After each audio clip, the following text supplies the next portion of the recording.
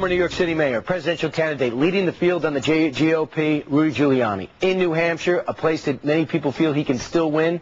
I tracked him down. Let's hear what our conversation was like. We are outdoors on a lovely summer slash fall day at a NASCAR event with the mayor of New York. How does this work out, Mr. Mayor? Well, I just happened to be hanging around in New Hampshire, and I thought I'd come to the NASCAR race here. You know, the numbers say you're trailing in New Hampshire. It's single digits, but you're trailing on most polls. It's early. Can you win here? Sure, absolutely. Mitt Romney used to work right around here.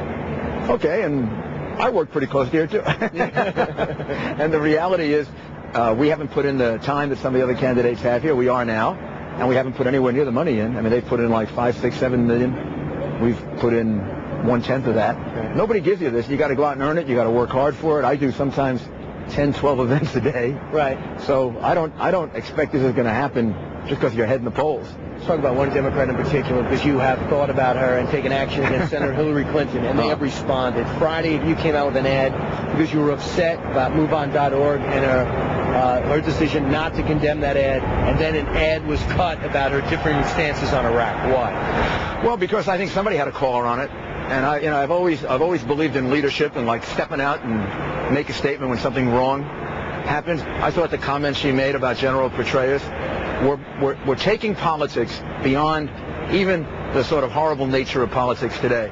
MoveOn.org specializes in character assassination. They spend hundreds of millions of dollars they don't support issues. They attack the character of right. candidates. I thought the attack on General Petraeus was horrible. It's like somebody's got to stand up to it and say, how about we stop at the at the point of character assassination of an American general right. who's got more uh, medals on his chest than anybody could ever hope to have, a man who's putting his life at risk for his country. Of course you can disagree with him. That's what America's about. But you can't attack his integrity for no reason at all, just because you want to make a political point. And then I thought Hillary Clinton played into that with her comment about willful suspension of disbelief.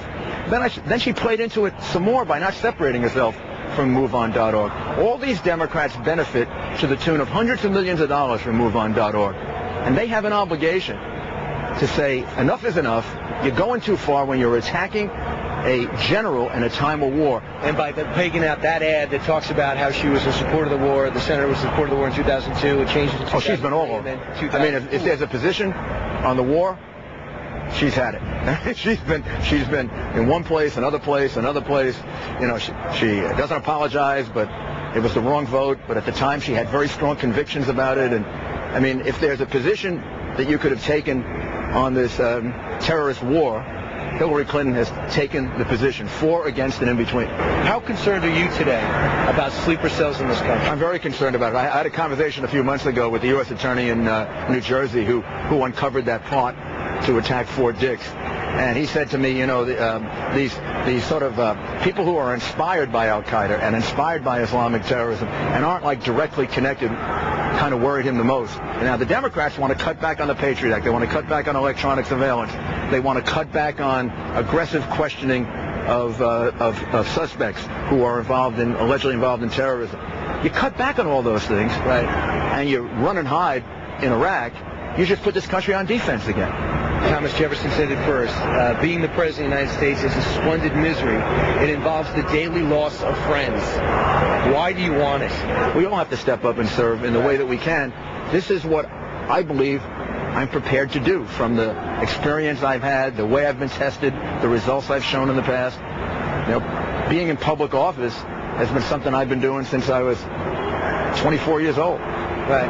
And I and and I've been able to get results that people never thought were possible.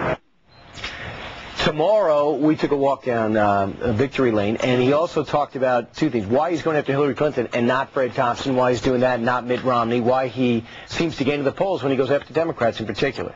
And what do you do about Syria getting nuclear weapons?